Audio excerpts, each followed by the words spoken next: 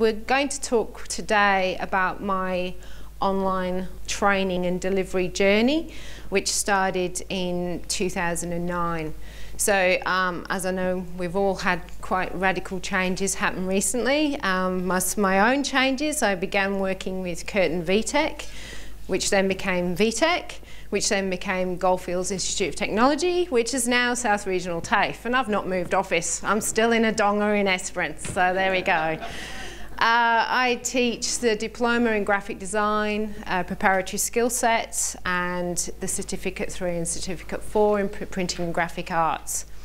I've been working in education since 1992.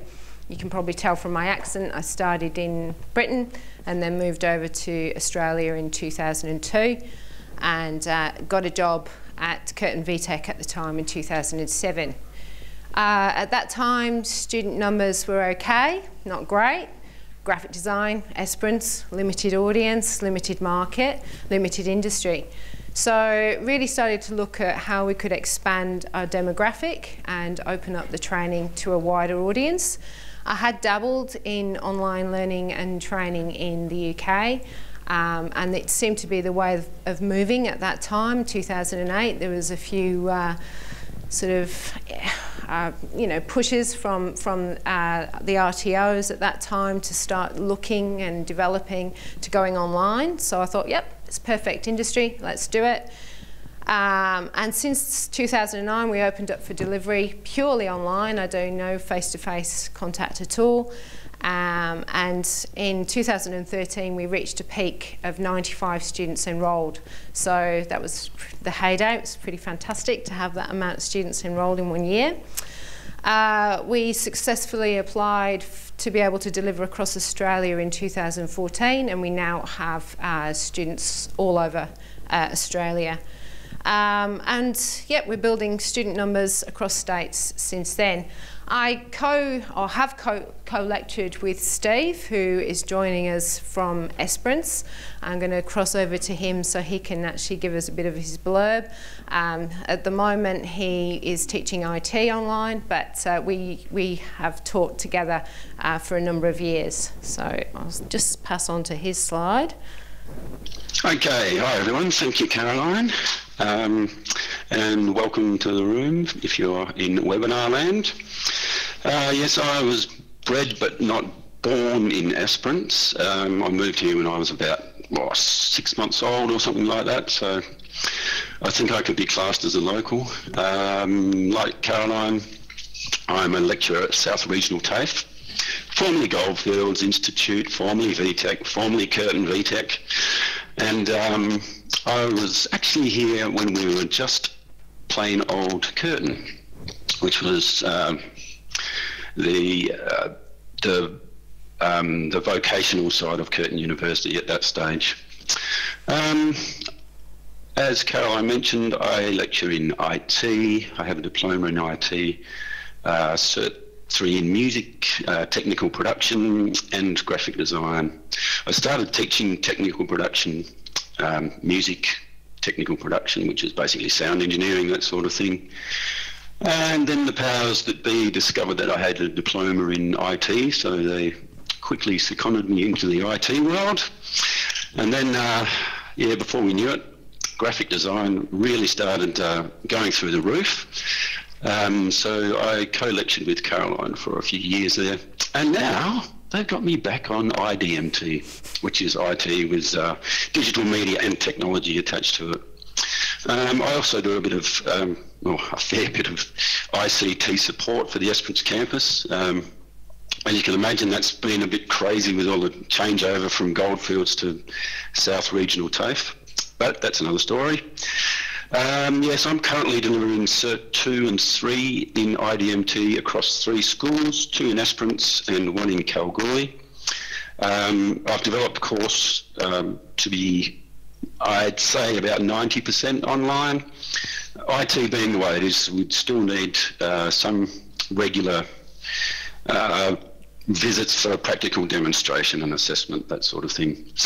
I have in Kalgoorlie a, um, a supervisor that um, is from the TAFE up there. Um, likewise, at an, another school in Esperance, I have a supervisor that um, looks after the VETA students. And as I said, I go and do regular visits just to keep in contact with them. Um, I also conduct weekly collaborate sessions for my Kalgoorlie students. Um, I'd love to say that my next mission would be to set up an online sound engineering slash recording course, but um, uh, that might be a bit of a pipe dream at this stage. okay, Caroline, thank you, and back to you. So what I want to talk about now is, um, I suppose, what you all think about when you first hear the word online, online delivery and training. So if you can just chuck out some some words that come into your head when you hear those those that term online learning, online delivery, can be negative as well as positive. So has anyone got any words that they can think of that just challenging? Absolutely. Collaborating, great. Flexible, yep.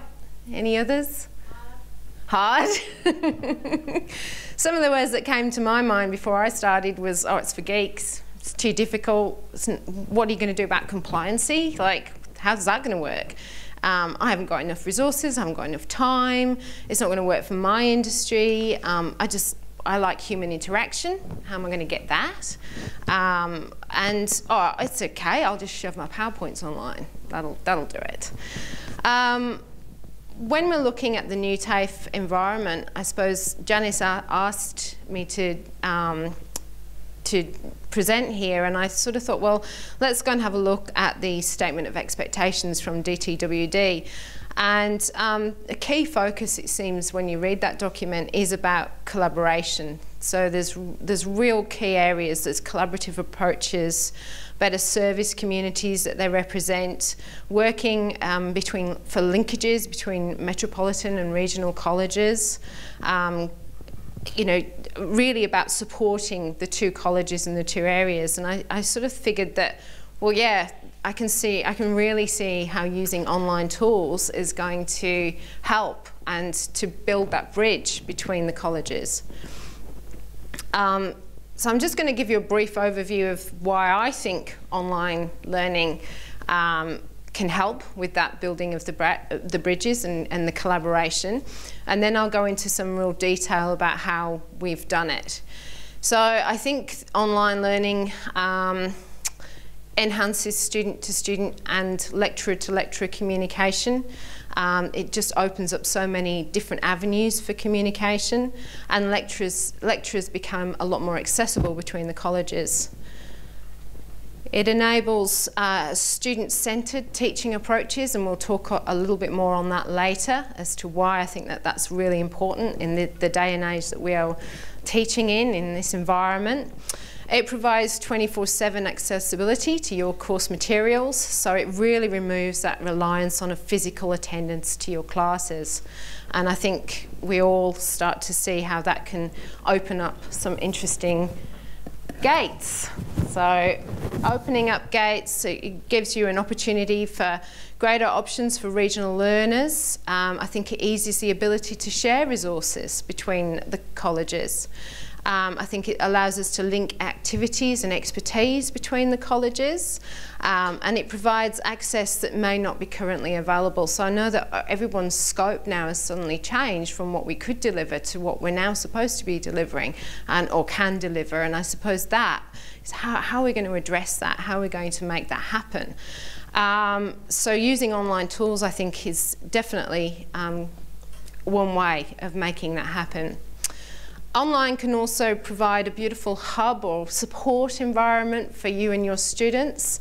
Um, so it allows greater peer discussion um, between, between the learners and it also increases um, areas for lecturer support if it's managed correctly. I mean, and that we're going to talk about that later, actually managing this correctly.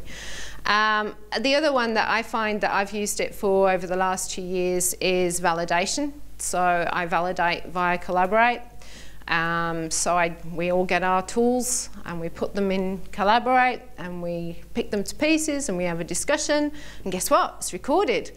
So when an auditor comes along, how are you doing validation? Well, watch these re recordings. That's how we're doing validation and listen to the in-depth conversations that are happening between you know, this, the industry and um, fellow lecturers. So, going to move into detail, and I forgot to mention if you have any questions as we're going along, just shout them out. No problem. Anything that you think of, just shout out the questions. So I'm just going to start to look in detail now about how, well, I suppose, the options that you have available to you as an online facilitator, um, and also then jumping back to Steve, and he's going to look a little more detail in, in our examples. So I think when you first start to think about online learning, it really is a little bit like being a kid in a, a sweet shop. I'm going to say sweet shop because I'm British, but lolly shop. Um, it's just so much stuff out there and it's so exciting. Um, YouTube, Vimeo, TED Talks, uh, so many open um, resources, sources that are out there that are free and it's just so exciting. And I think now for us as lecturers that we really do need to um, appreciate that that learning is available to our students and be able to um, provide those alternative routes for the students to be put, putting themselves through the, the, the course and the materials that you're providing.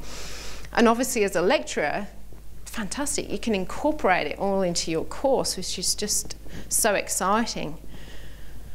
Um, we are living in an era where there's a big expectation for students to be able to learn online. They, if it's not offered online, they sort of a little bit taken a gas. I found really, you know, they, they, they, they need to be able to know that they that they can get this stuff online. You know, they're online all the time.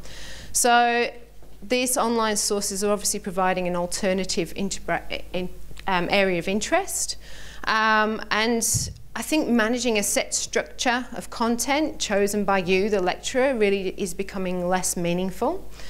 Um, it's now our role is to decide what's important or relevant to your subject domain and, and the particular needs of your learners. Because you have, you've as you all know, we've all got different learners in our classes and different learning styles, and you can use all of these tools to really pinpoint those learning styles and get that information out in so many multiple platforms in multiple ways than we ever could before. Um, and learners are starting to take responsibility for their own learning. You know, if you want to learn something, where do we all go? YouTube. You know, your boiler's broken. Oh, I might be able to fix this myself. Let's go onto YouTube, you know. Can't play the guitar, I'm going to learn on YouTube. So, you know, that's what your students are doing. So you need to realise that and you need to grasp that and use it as a powerful tool. Use it yourself. Um, online, I think it's a, we really need to start changing the way we see ourselves as lecturers. Um, I, I don't see myself as the you know, the port of all knowledge, that I deliver all knowledge to my students. I, I, see myself as that sheepdog, that I am trying to guide my unwieldy students through a gate at the end of the field, and I hope I get there. So I guide, I facilitate, I assess their learning, um, I, I, encourage my students to go and use alternative sources. I look at the alternative sources and I think, are they useful? Are they actually getting something for them from them? So my, obviously my students are huge Instagrammers, they're huge Facebookers, but you know, have a look on Facebook. What's out there? You know, there's so many communities of practice out there.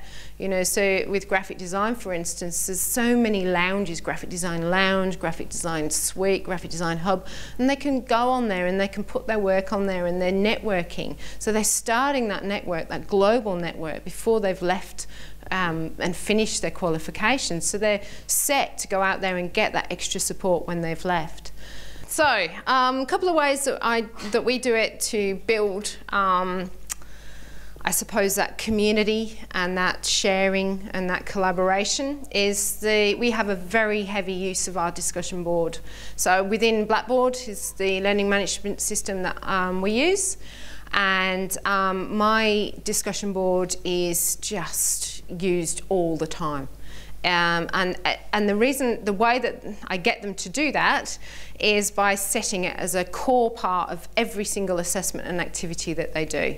So they, they will not get a, a tick that they've passed that, that activity unless they've gone into discussion board and fed back put their own activity on there, but also fed back on somebody else's. So that actually is part of that communication in the workplace, but also builds that collaboration and it also builds that, um, you know, the student feel of, the feel of being part of a, of a community of people that are all doing, going towards the same goal. Uh, the other example is um, our YouTube channel. So um, we have a pretty active YouTube channel and the content on this is mainly uh, collaborate sessions that we've run that are recorded and then downloaded, turned into empty MP4, edited so you don't get all the gumph at the beginning and the end of people, oh, I can't get in, my mic's not working, and all the rest of it that happens at the end, because it's going to happen. Technical stuff goes wrong. You just got to accept it. You know, it's not a reason to not do it, but it does go wrong. Um, and so we create resources as we're going, which is fantastic. So again, that, that going in, checking the YouTube channel, people share, the students will share videos that they found, we put them on the channel as well as links. So again, that sort of hub that we expect students to be part of. The other one that I touched on is our Facebook page. So um, again, there's actually two Facebook pages for our course. So there's the main Facebook page, which we have where I share content and students will share ideas on there as well. But uh, the students, like, they've set their own up as well. Um, so, which I think is a little bit more social than this one, but I'm still in that one as well. I just like to keep an eye on what they're actually getting up to. But it still has a graphic design bias, but it's it's definitely a more social group that they've got happening there, which I think is fantastic. You know, that's great because the students are spread all over, so it's good for them to be able to get together in that environment. Uh, another tool that we found effective for our industry area is Behance, which um, basically the students, again, I've written this into the core, core component of the course, but this is again about building that network for when they've left. So it's about using an online tool that is so good that it's it builds that community for when they when they've left the community that they've had through their their, the courses with me.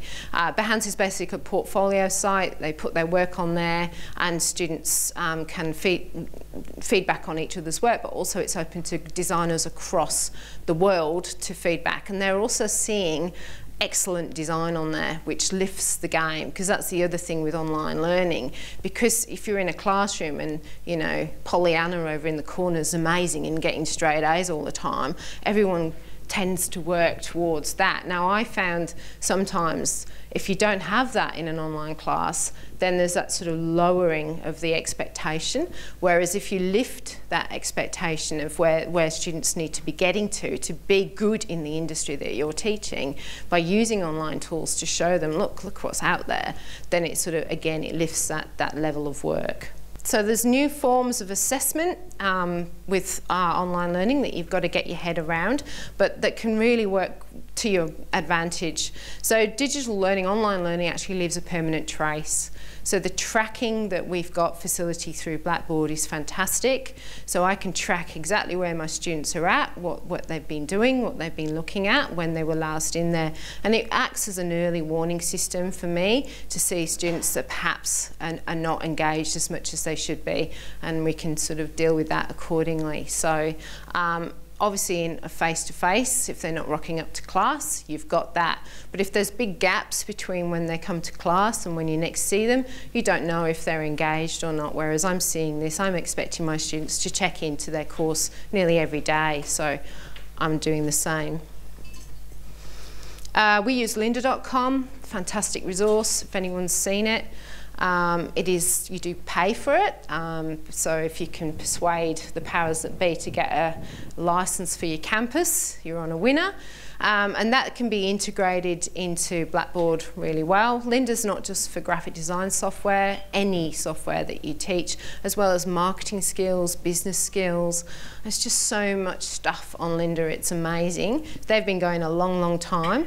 Um, and again, there's some fantastic uh, uh, tracking. Yeah, there's Steve's one of our most valuable resources. It is, and you can track what your students have been doing and what you what they've been watching on Lynda. You can assign them playlists. So um, I assign my students a playlist of videos that I expect them to watch, and they can print off certificates of completion, which can be sent to you as a PDF. That's part of um, the assessment that you you would hope that they would be getting through. Again, so you're seeing that that quality is happening, that they are actually rather than telling them go and watch these videos, but you've got no possibility knowing that they've done that. Lynda um, gives you that option. Um, so yeah, that's just uh, tracking through Blackboard. So like I've just an example of the kind of uh, reporting that you can get. I've just zoned that in. Um, I think online learning as well is, as was being touched on a little bit today as well with some of the talks that I've been to, there really is a demand for short, just in time, just for me learning um, that meets the immediate need of your learner. Um, like I've just said, if we go and use watch YouTube, and I heard someone say earlier on, oh, if it's longer than 10 minutes, I'm not going to watch it. And that's the that's what we're living in. This is what this is where we are at. People want that short, just in time, just for me. Um, and so you do need to think about when you're putting your online learning together, how you're going to cluster it, how are you're going to split it up, how it's, how's it going to work so it's small, bite-sized pieces for the student to work through, and then hopefully get to the end where they end up with a full qualification. Um, so my, my courses, uh, but all of my courses that I deliver are clustered, um, and the student would work through one cluster, finish that. And if they want, they can move on to the next cluster. But if they don't want, then they can actually just finish with that and they've got two units or three units. We've actually had quite a few students that have just come in to do one cluster. So we have a separate cluster on web design and we've had students that have just come in just to do that. They don't want the full qualification, they just want to learn web design. They get four units and off they go. So, um, and, and having your, your course split into those smaller sections allows you to do that.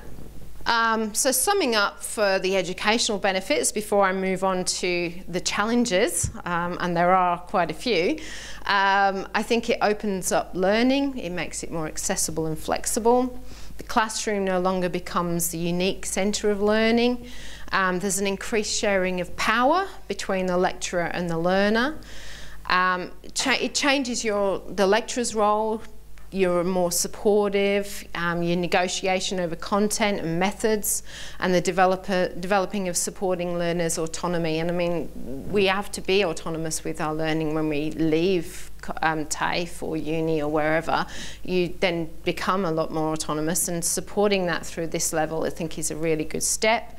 Um, and it also um, really provides that area for learners to support e each other in their learning and um, that sort of peer assessment, peer to peer to peer review and discussion groups. Okay, so challenges. Um, again, just shout out if you've got any questions. Um, so I've painted quite a rosy picture and um, it has been a really fantastic journey and I've loved every minute of it. However, there, there are challenges, there, there always will be. So it takes a lot of time. It really does. Um, I've been developing my content to go online since 2008 and I'm still developing it. I still rewrite it, I still reword it, I still take it off, I look at it, I take it to pieces, does it work? No, it doesn't, put it back reword it start again. And then obviously you get a training package update, yay, and you do it all again. so, um, so, you know, it does take time. There are a lot of fantastic e-learning resources out there that are all ready to go and bundled up and packaged. Um, and that's fantastic if you can find something that works for you and it's compliant and it meets all of the standards and you can put it in there as the content and then just value add around that, then that's great. Unfortunately for graphic design, there wasn't at the time anything. So I did write it all, but I think that for me that's been really good because I know it inside out and I know what works and what doesn't work. Um, and yeah, for, but it has, time has been, a, yeah, a barrier for sure. Also, the other aspect of the time consuming thing is that you have to learn how to use a learning management system if you've never used one before. Um, they do take a little bit of getting used to, you know, so it's how's, how does it all work? And it's quite a foreign environment, you know. It's, I went straight from face to face into teaching purely online and it was like, okay, wow, this, this feels really strange, you know, it doesn't feel right, you know, so um, you definitely need to um, get used to that so your daily and weekly workload feels like it's never ending. Um, because I do rolling enrolments, my students are not completing activities or assignments at the same time. They're all at different times. So I'm getting stuff in constantly and it's all different. And so I have to be on top of that all the time. So it's not like I go in, I teach a class face to face, I do my prep beforehand and then I might have some um, assessment to do. It's, it's a constant sort of stream of work to keep up with. Um, I need to be in communication with my students almost every day, um, just so I'm touching base, so they don't feel isolated and on their own. Um, they need to feel like part of a class. Yeah. Uh, yeah, sometimes it does. Um, mostly it'll happen in the discussion board. So they may have worked overnight on and been working heavily in the discussion board. I'll come in the morning and then I'm replying to the things that have gone in the discussion board and then they're back on at night checking what I've put and then they're responding to me. So it sort of works in that cycle. But yeah, um, I do teach on at night time as well. So um, I check email and keeping up with discussion board all the time. But yeah, it's that communication just to keep them on task, to feel so that they don't feel isolated, that they don't feel that they've just been paid a load of money to do a course and then boom, off, you know, get on with it, off you go. So I try to respond, uh, as I say, to my quest students' questions um, as quickly as I possibly can to keep them motivated. Um, I also um, will try and get them feedback to an assessment within two days. So I sort of have this two-day turnaround. Now I know that's that's pretty tricky, and sometimes it doesn't work, but um, two two to four days, I think, because especially for an activity. Um, if it's an assessment, it might be longer. But when they've handed an assessment in, at least I'll tell them, yeah, I've got it. I'm having a look through it. It's looking good on the first page, but you know, maybe you know, I, will get some further feedback to you very soon. So at least they know it, they've got it. And I've got it, and everything's good. Because if they're just handing it in online and it goes into what cyberspace and disappears, they don't really know what's happened to it after that. So. Caroline, do you have a, a maximum number of students you take? uh, well, don't we all have the magic number? Um, oh, look, yeah, when it got really high, um, I think the, the most I had on my own at one point was 67. And that's when I started going, no, can't do this anymore. So that's when um, Steve was brought in on a point five FTE to help out. So yeah, um, it can get unwieldy and you do need to be really, really sort of organised as to how you, there are efficiencies and I'm going to talk about some efficiencies in a bit. So um, one extra point I will mark uh, will point out as well. I think when when when sorry, we went Caroline, online, can I ask um, you a question? Yeah, sorry, yeah. Um, it was just in relation to your number of students and rolling enrolments. So obviously not when you hit 67, but when you started out at first, did you ever have a situation where you just had one student doing a particular unit or cluster at a time? Oh yeah. So how did they feel part of a group then? Yeah, well, because they they they're feeding into the discussion board, and the other students are still feeding back onto what they're doing and also in Collaborate, which I'll talk about in a bit, but we do online classes. Everybody comes in at the same time and we're not actually doing anything that is specifically to do with an assessment. We're talking, we're discussing, we're looking at holistic information.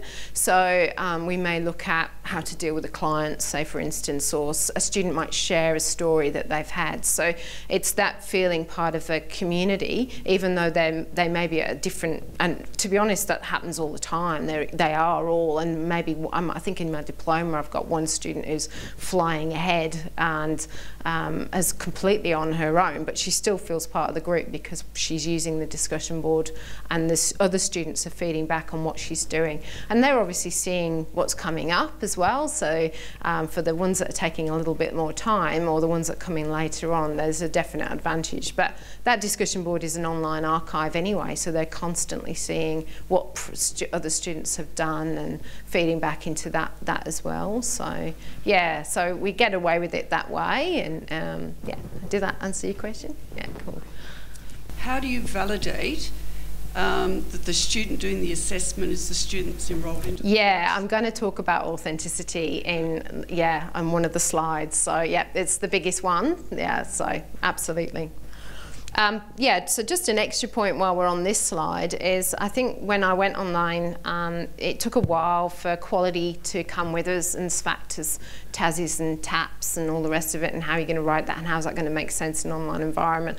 I think we've got there with that now. But one area I think still needs to be looked at and addressed is I can't fill my timesheet in because how do I split my day between ARD and TCH and PD, it's impossible as an online trainer to fill that in. It's a fairy tale. So I fill it in, do my bit, off it goes, but it's a fairy tale, it really is. So you just have to, again, the mindset of the way that you work is very different.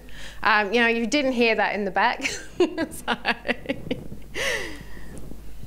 Okay, um, so yeah, in the classroom, your students come together in one place, your announcements are made in one place, questions are asked in one place, activities are completed in one place, um, and everybody moves along beautifully.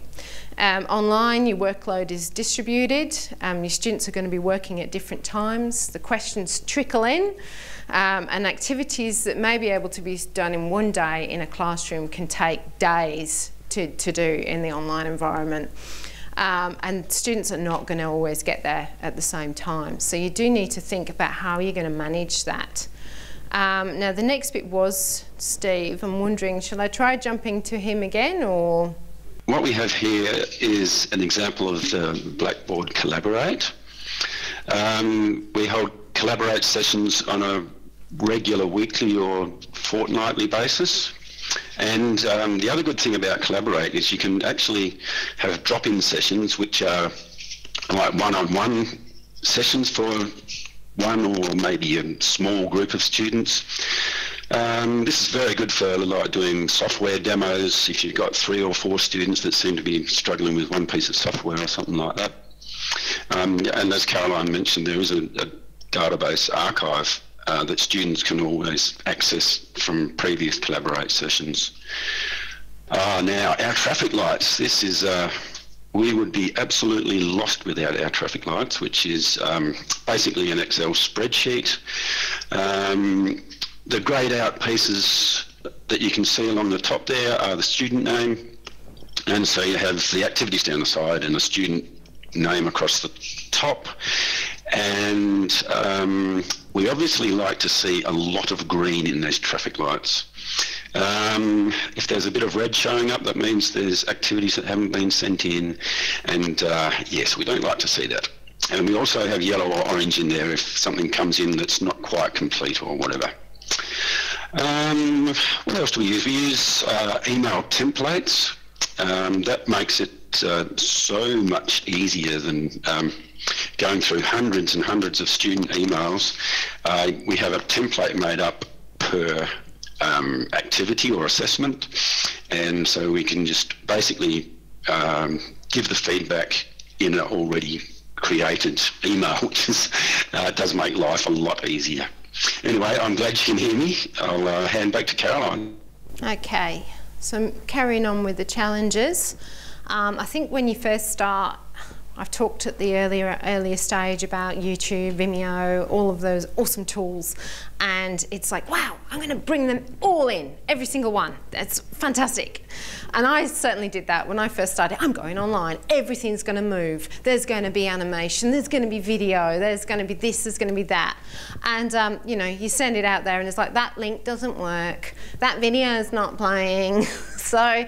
I have learned um, the hard way to keep it simple. Um, so really source what is working for you and what, um, what is effective and what's actually going to value add into your course. Um, I think when we first started, our content had this lovely animation of this a line that just went up and down on the side for no reason whatsoever, just because it looked pretty. And it was breaking all the time and stopping people's content from coming in. So, why did we have it there? Because we were showing off because we're graphic designers and we like to show off, get rid of it. So really pare it back, keep it simple, find out what's, what's working and don't waste your students' time by sending them off or getting to look at something that actually isn't relevant to what you're trying to teach. Um, because they're going to get really frustrated and they're going to go, oh, online learning sucks. So, and that's not what you want. Um, I'll jump, I'll talk about this one. So just an example. So in addition to Lynda, um, we have found uh, a few tools that are really effective and you just need to go and do some searching, but also get your students to find them too. So I've got a forum in my discussion board, which is called cool things, you know, like anything cool that you find that's relevant. Put it in here and I'll go and have a look. And if I think it's worthwhile, then it actually ends up getting brought into the uh, assessment sometimes. So this one, for instance, is a really cool color game where actually actually they actually pick out colors and hues and but in, we've we've been uh, had problems of links breaking. So there was Mr. Frisky's pre-press quiz. Should have known from the name that maybe that wasn't going to be there forever, and it wasn't. and I had it as a as an activity, and oh, okay, now we've got to rewrite Mr. Frisky's pre-press quiz ourselves, which we did, but. Um, so yeah, uh, and obviously being prepared to, I'm just gone ahead two slides, being prepared to, um, this is one, a screenshot from Steve, which I just thought was hilarious. So being prepared to change things as you change. so, so yeah, just, uh, we're all going to be doing that shortly. Just delete that logo, move it on. Okay, um, already touched on this, but your activities and assignments are going to need a lot of adjustment to work online and you need to try them out, you need to experiment. I do a lot of group work with my students and we do that in Collaborate. So we set group activities, they'll go off, do the activities and they come back as a group to, to talk about that. Now Collaborate Ultra, I'm very sad, doesn't have breakout rooms, but I've just talked to Chris and he's like, my bad, we're going to get them happening again for you because I use that a lot. In the old Collaborate, we used to have breakout rooms. We'd dump all the students into their separate little rooms. They'd have uh, a leader who would take control of their room. They would do the activity and then they'd come back into the main room. They'd share their whiteboard and we would discuss as a group what they've just done. It's fantastic to be able to do that. It really was. Um, so the on online content building, again, um, it really isn't as simple as just shoving your PowerPoints online. You really do need to look out, stepping outside your comfort zone. We've talked about, so there's been quite a few people talking about that today, being brave and uh, re, re-looking at everything that you've already got in a face-to-face environment and thinking about how is it going to work and be prepared to scrap something. You know, something you may have spent hours preparing and developing and thinking, this is going to be fantastic, it's really going to work. Try it out. If it doesn't work, either rework it or get rid of it. And sometimes you just have to be, unfortunately, a little bit uh, um, ruthless. Um, getting your students ready for industry, that's what we're all about. Uh, so I'll just talk a little bit about how we've done that um, in with using uh, Collaborate. So um, I use Collaborate all of the time and one of the biggest things I've found has just been fantastic is I get industry experts to come and talk to my students and collaborate. And I've had some gods and goddesses of the design world that I've been cheeky and gone, hey, I teach online.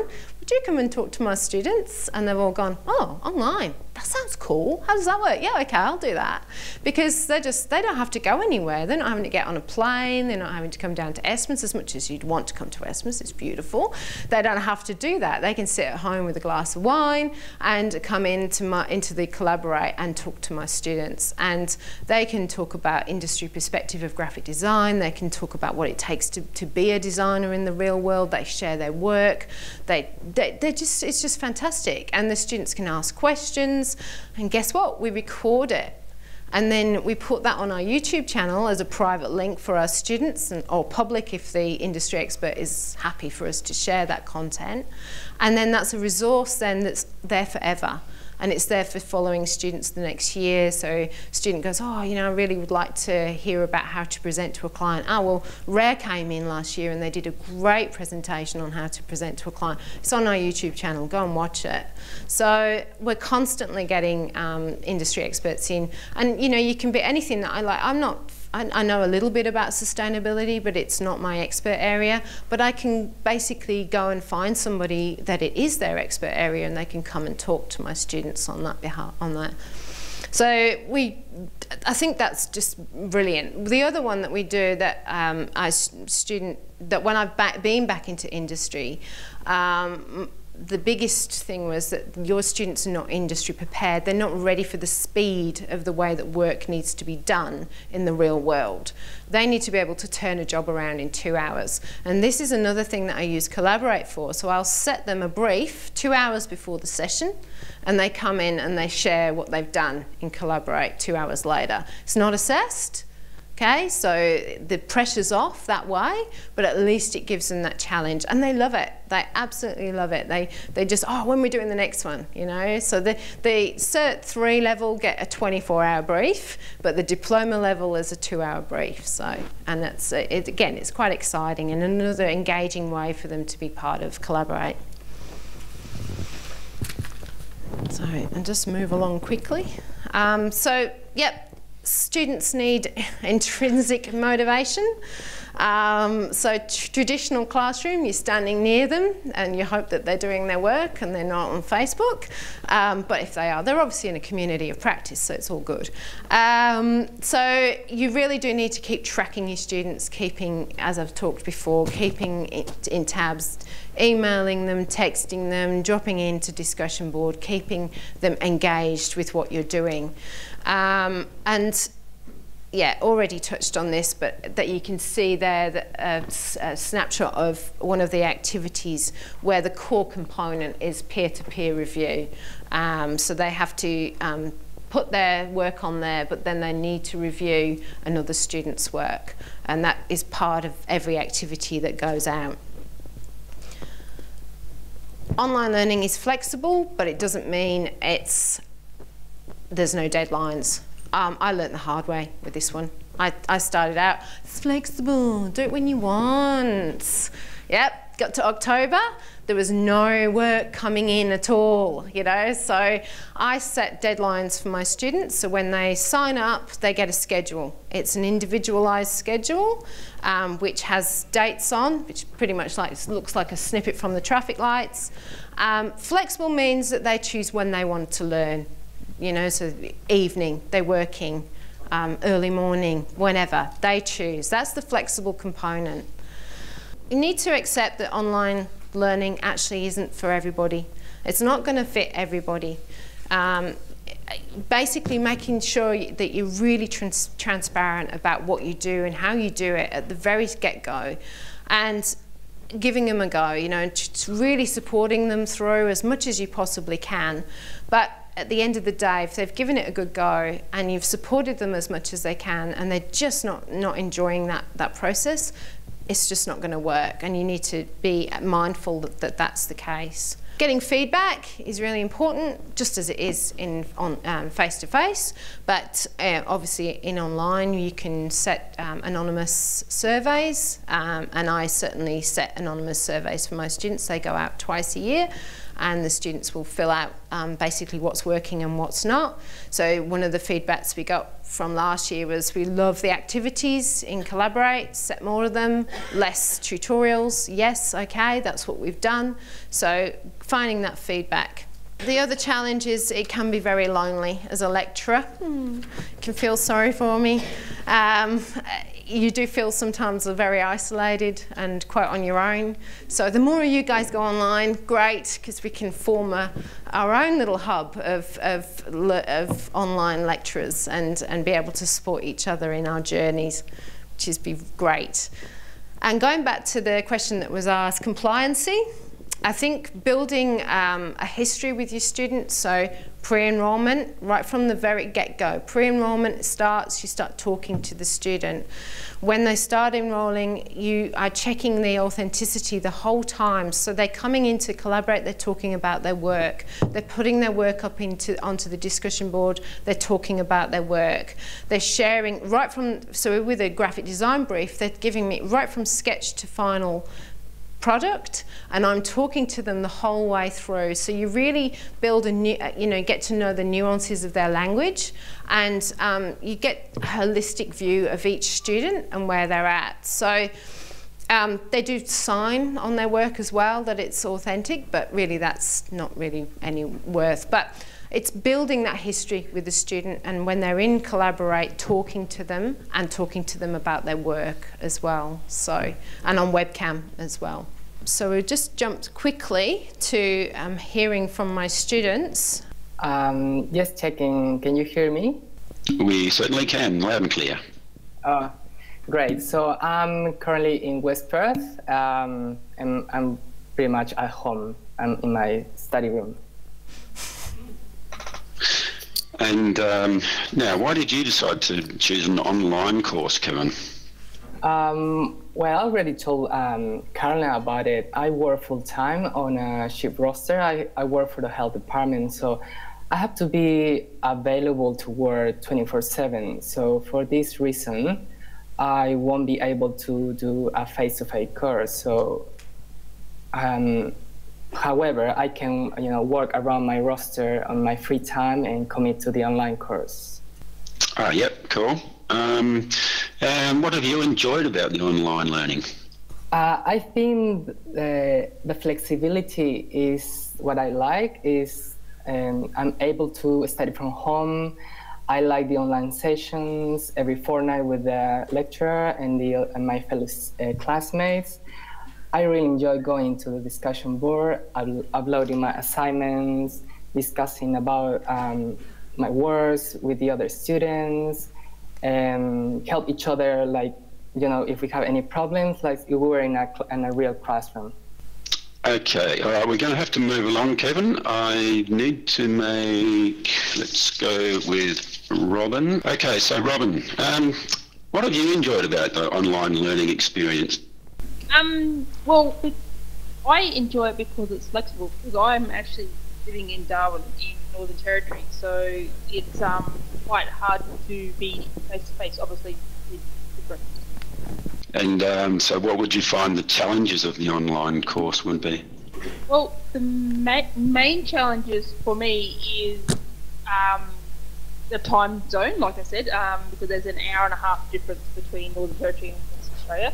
So that would be my main challenge. Um, and as Caroline touched on, it's just sort of not having the peers in the same room as you, so you sort of you, you tend to sort of not hurry through your assignments as quickly as maybe you should. Ah, so creating your own deadlines. okay. Um, okay, Carly. Steve, I'm based in Esperance, so it is a bit weird doing something online knowing your lecturer is just down the road. Um, I've really loved the online learning experience. I wanted to learn graphic design but knew absolutely nothing about it. So I needed something that was simple um, and easy to do, but I also needed something that I could do from home as I worked full time. And the cost of travelling to Perth would have just been prohibitive of doing something up there. So it's, it's given me something that's flexible and good and works with exactly what I need it to do, which is great. Fantastic. All right, thank you, our students, and I'd better hand back to Caroline right now because we're very rapidly running out of time.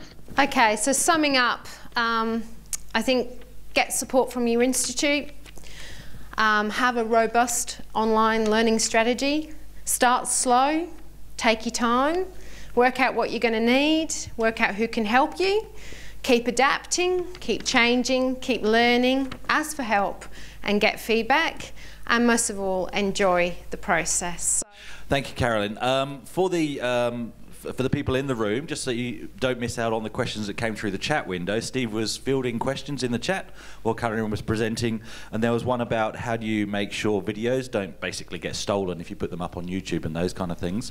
And his response was A, they make it an unlisted link um, so that only students that are enrolled get sent that link, but also just with any other material, um, it, be it printed or whatever, it's down to the integrity of the student not handing that on, um, which I think is a really good point.